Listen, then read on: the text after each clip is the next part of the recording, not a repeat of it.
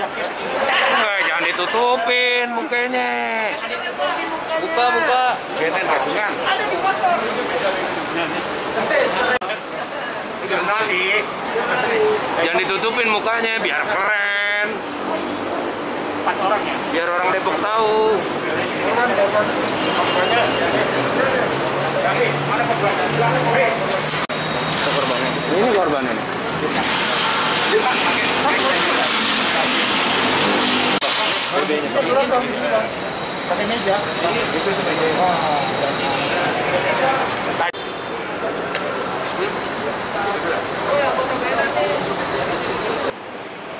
Jajaran Deputi Bidang Pemberantasan BNN dalam dua malam ini melakukan pengejaran terhadap sekelompok orang yang melakukan kejahatan berupa penyekapan dan pemerasan terhadap korban yang mungkin sudah dilakukan berkali-kali. Walaupun pada kenyataannya setelah kita lakukan pemeriksaan mereka baru mengaku dua kali.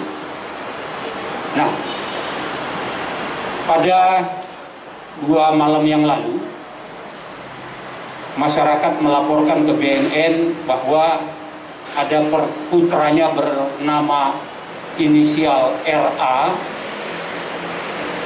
ditangkap oleh sekelompok orang, kemudian dibawa berkeliling kota. Yang menangkap ini mengaku adalah anggota atau pegawai Badan Narkotika Nasional. Kemudian para pelaku menghubungi orang tua RA bahwa anaknya telah ditangkap karena memiliki dan menggunakan narkoba dan obat-obat terlarang. Kemudian mereka berpura-pura bahwa korban yang mereka tangkap ini sudah dilakukan tes urin dan menurut keterangannya kepada orang tua akan dilakukan penahanan. Nah, oleh karena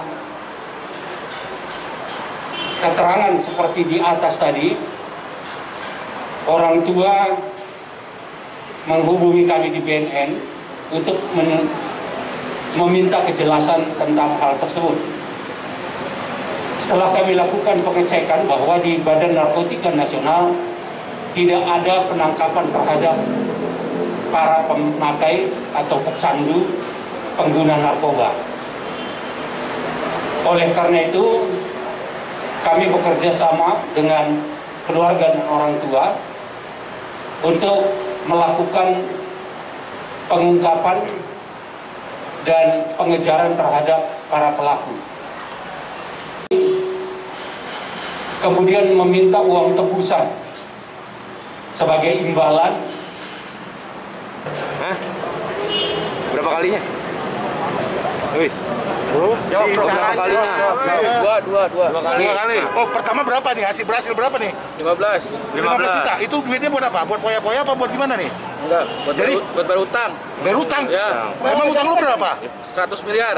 100 miliar. Jangan lupa subscribe ya.